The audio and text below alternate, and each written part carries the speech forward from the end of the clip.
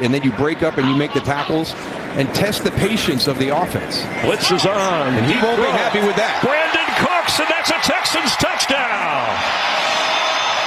Davis Mills read the Ram blitz and aired it out for